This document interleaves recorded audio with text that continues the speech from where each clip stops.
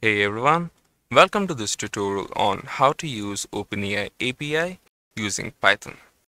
This is something I was going through recently and I found it so interesting that I wanted to share it with you. Now most of y'all must have heard of ChatGPT, the super trending AI text generator that generates responses based on user prompts. This technology was developed by a company called as OpenAI and along with ChatGPT, they released a few APIs that are super convenient to use in your code. You can find these models if you search for openai.com slash API slash pricing. Once you're in this page, if you scroll down a bit, you will be able to see a section called as language models. Now this section has a collection of base models that you can directly use in your code. There are currently four options available, which is Ada, Babbage, Curie, and Da Vinci. Now, each of these models has slightly better capabilities than the previous one, and depending on these capabilities, prices can also differ. Now, the Ada model, which is the least capable out of these four, has the fastest response time, and Da Vinci is the most capable while being the slowest out of all these options. Now coming to the pricing, you can see that the prices are mentioned per thousand tokens. So what is tokens? You can think of tokens as words. And like it is mentioned over here, 1000 tokens is approximately 750 words. You will be charged based on how many tokens you use in your program. If you want to look at the differences, then there is a separate page for that too. Over here, you can see the details, capabilities, and restrictions of each of these models. All these models are developed on the GPT-3 models, and the DaVinci model, which is the most capable, has a max request limit of 4000 tokens and the training data was taken up to June of 2021. The Curie model is slightly less capable than the DaVinci model, but it is faster and costs way less than DaVinci. It has a max limit of 2048 tokens and you can also see that it was trained only until October of 2019.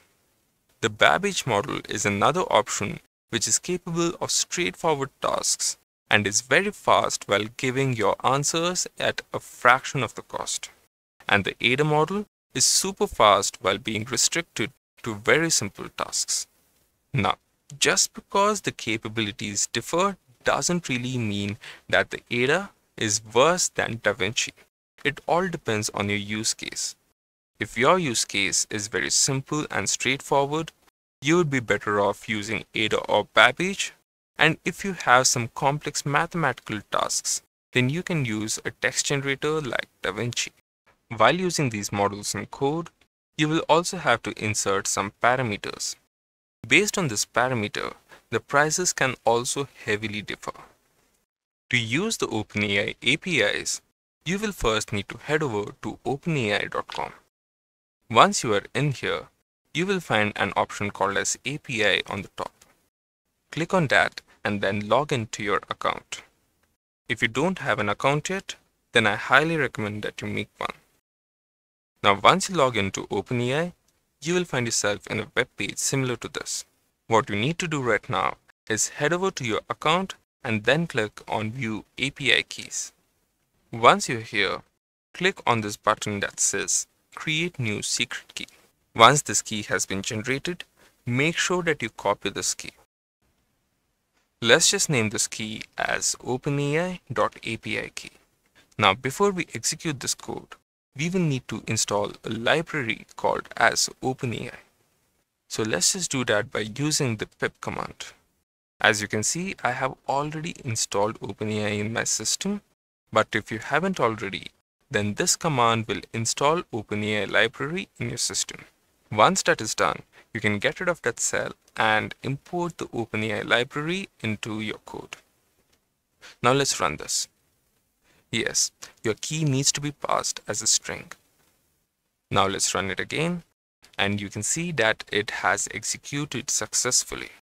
Now let's define a simple prompt. We'll say, variable prompt is equal to and then a message. Let me just type, Hi, how are you today? Now this will be our prompt. Now that we have access to OpenAI and we have defined our prompt, the only thing left is to generate a response. Now to generate the response, let's start by typing variable response equal to OpenAI dot completion dot create. Now this is the function that you use to generate responses. Inside the create method, we will start defining our parameters. The first parameter that we are going to define is the type of engine that we will use. So you can just type engine equal to and then you can specify the model that you will use. If you want the details of the models, you will find it over here. These are the models that you can use in your code. Let's first start with the ADA model. The next parameter that you will need to specify is your prompt. This parameter will be passed to your model to generate a response. Since tokens are expensive, it's best practice to set a max limit to your tokens. You can do this by typing the max tokens parameter and setting a value for it. Let me just set it to 50. And one more interesting parameter is the number of responses that you want to generate. So we can set it as n equal to 1.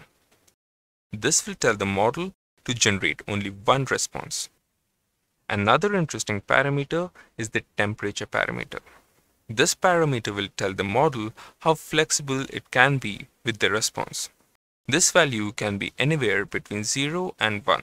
A temperature of 1 will make the generated response quite formal, while a value of 0.1 will keep the response extremely creative. Keep in mind that lesser temperatures can also make your responses factually incorrect. And when I say 1, it will show 1. When I say 0, it will show 0. And then 0.1. For now, let's keep the temperature value at 0.5. With this, we have generated the response. To view this response, you will just need to write one more line of code. This can be done by using the print function and then typing response.choices. Now, choices is a list of generated response. Since we have set n as 1, we'll be getting only one output. So our response's choice index is 0. We also need to see the text format of the response. So we type .text at the end. Once we execute this code, you can see that our model has generated a response. You can also change the model or the number of responses if you don't find the answer satisfactory. And now you can see that our response is more friendly. So guys, this is how you use OpenAI API in Python. I hope you found this tutorial useful and if you have any questions, do mention them down in the comment section. I will make sure to give you more interesting content like this in the future. So until then, happy learning.